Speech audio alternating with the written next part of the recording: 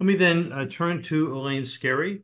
Uh, Elaine teaches at Harvard University, where she is the Cabot Professor of Aesthetics. Among her works is Thermonuclear Monarchy, which demonstrates that nuclear weapons and democratic governance are mutually exclusive. Beyond demonstrating the extraordinary dangers of first strike nuclear uh, doctrines uh, and, uh, and that the nine nuclear monarchs uh, hold the fate of humanity uh, in their hands, she also maintains that they have the political tools needed to dismantle their country's nuclear architecture, and they also have the obligation to do so. Elaine has been elected to the American Philosophical Society and the American Academy of Arts and Sciences. She has received numerous honors and awards and was named as one of the top 100 leading U.S. intellectuals. No captive of the Ivory Tower, Elaine serves on the board of the Campaign for Peace, Disarmament, and Common Security, and she is very active with the Massachusetts Peace Action's Nuclear Disarmament Working Group. Elaine, thank you for all that you do, and thank you for joining us. Thank you for having me. Uh, thank you, Joseph. Thank you, Kevin, and fellow speakers, and to all of you who are participating.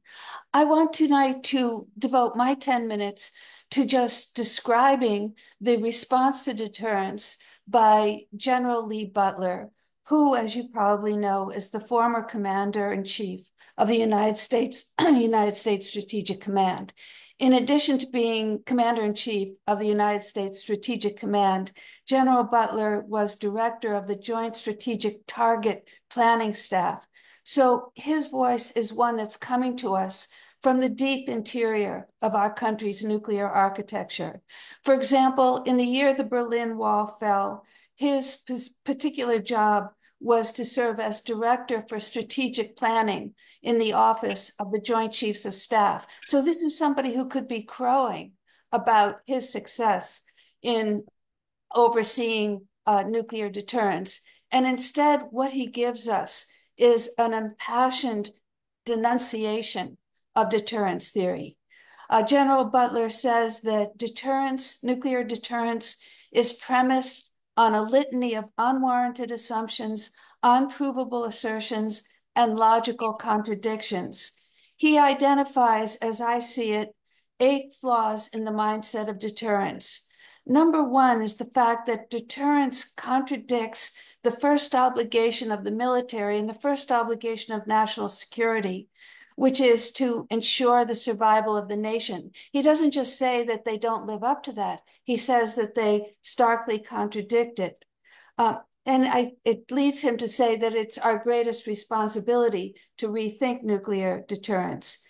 The second flaw is the fact that, uh, that nuclear deterrence is fatally flawed on the level of human psychology. He says that it's premised on the idea that each side can understand the position of the others.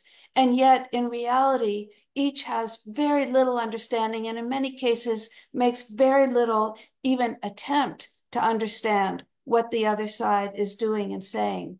He deplores the fact that we take Western reasoning and rationality as a model for a situation that is hideously complex and terrifying and gives rise to uh, all kinds of panic and uh, and and fear. Um, now, it's it's the case that that one of the leading proponents of nuclear deterrence theory, uh, Thomas Schelling, um, points out that that uh, deterrence is often wrongly accused, in his view, wrongly accused of being hyper rational, and yet when you listen to Thomas Schelling's often very brilliant interviews on YouTube, you see that each time somebody presents him with a scenario that could entail the breakdown of deterrence theory, he says, but that would be foolish, or but that would mean that people had misperceived one another. Um, and and uh, and yet that's exactly what happens in the fog of war. People do misconstrue others' intentions. Number three in uh, General Butler's uh, denunciation is a, a, flaw in deterrence theory that um, comes from the fact that if it fails, um, it's it, the consequences of that failure are intolerable.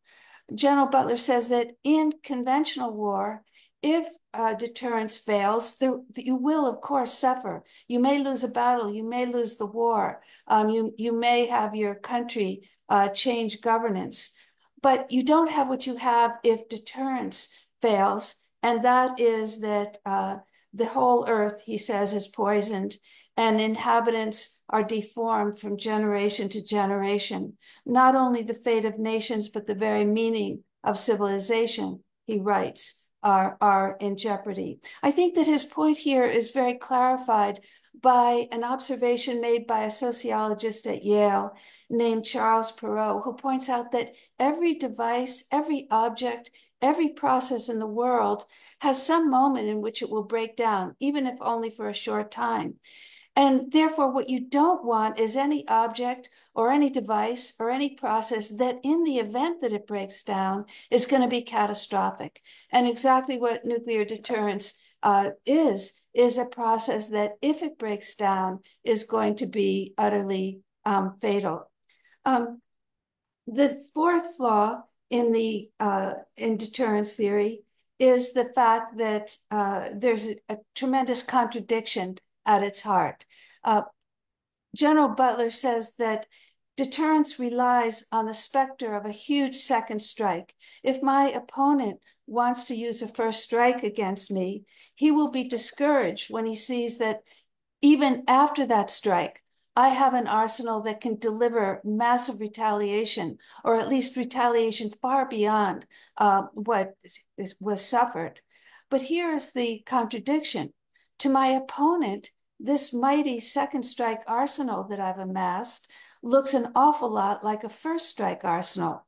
And fearing that I might deliver a massive first strike, um, my opponent now has to vastly increase their own second strike uh, uh, arsenal, which looks to me like a first strike arsenal. And so the very point of deterrence, which was to dissuade people from first use by showing the strength of second use, um, turns over in a somersault and just gravitates once more towards, um, towards first use.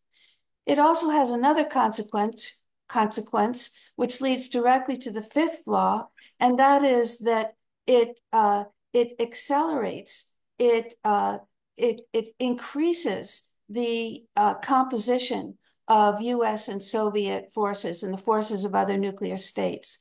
That is, rather than placing rational limits on for nuclear forces, it gives rise to an insatiable arms race. Now, General Butler repeatedly calls out the greed and obscene appetite of weapons contractors. And he also remarks on the competition between Navy and Air Force for which one will get to be preeminent in the nuclear array. He also shows that what proliferates are bureaucracies and processes. He writes that there are astronomically expensive infrastructures, monolithic bureaucracies, and complex processes which just defy one's comprehension. Um, to enhance rather than constrain application is the outcome of nuclear deterrence. And he says that as he witnessed weapon after weapon being contemplated through every corridor, and now I'm quoting, through every corridor, in every impassioned plea, in every fevered debate about a given weapon, rang the rallying cry deterrence, deterrence, deterrence. So the drive for new weapons, again, comes from greed, comes from competition, comes from the uh, wish to create ever more ingenious forms of massacre, but it also comes from that paradox between first use and second use that I described earlier. The sixth law is the profound moral aberration of deterrence. Uh, General Butler points out that it can't possibly be legitimate and appropriate to respond to a nuclear weapon by then launching a nuclear weapon at the uh, opponent's population. What target, he writes, could warrant such retaliation? Would we hold an entire society accountable for the decision of a single demented leader? Closely related to this sixth law is a seventh law. Deterrence destroys the ability of both individuals and groups to think clearly. Um, he says that Deterrence theory and game theory are made up of rhetorical parlor tricks and verbal sleights of hand that disable our ability to think. They corrode our sense of humanity, numb our capacity for moral outrage, and make thinkable the unimaginable. That's their effect on individuals who keep bandying the term deterrence about. But it also uh, harms planners who should be using their mental abilities to scrutinize situations, uh, to debate, to deliberate, and instead are in this uh, what one philosopher describes as tit, to tit for tat game of uh, deterrence. The eighth flaw is the one that Tad mentioned at the very opening of his talk, namely deterrence theory promotes promotes proliferation internationally. If we think deterrence makes the world safer, then many other countries should adopt it as well. Gen General Butler says while we continue to espouse nuclear deterrence and to celebrate it as an irreplaceable element in our security, other nations are listening and are being converted to our theology.